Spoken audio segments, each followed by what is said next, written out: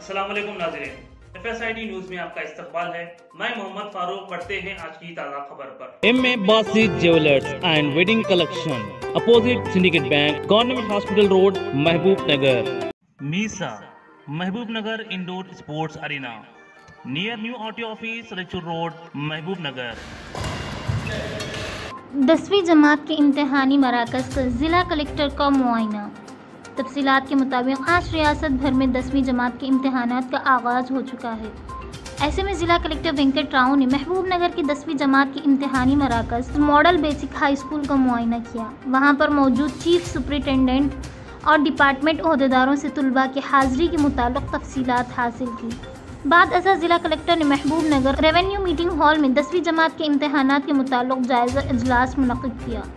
जिसमें ग्राम पंचायत अहदेदार और बल्दी अहदेदारों को हिदायत दी कि इम्तहानी मराकज़ पर साफ़ सफ़ाई के इंतज़ाम करें।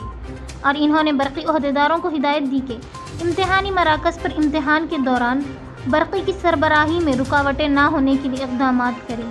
अहदेदारों को कलेक्टर ऑफ़िस में कायम कंट्रोल रूम को हफ़्ते की आधी रात तक बरकरार रखने की कलेक्टर ने हिदायत दी। और इन्होंने महकमा पुलिस को महकमा माल के अलावा महकमा तालीम के अहदेदारों को हिदायत दी कि इम्तहानी मराकज़ में किसी भी हाल में मोबाइल फ़ोन की इजाज़त नहीं है।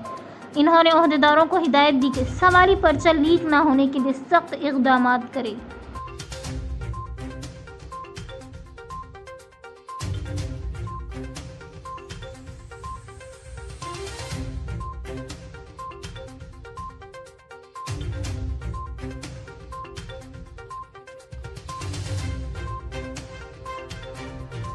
अगर आप हमारा ये वीडियो YouTube पर देख रहे हैं तो सब्सक्राइब करना ना भूलें और बेल आइकन दबाएँ।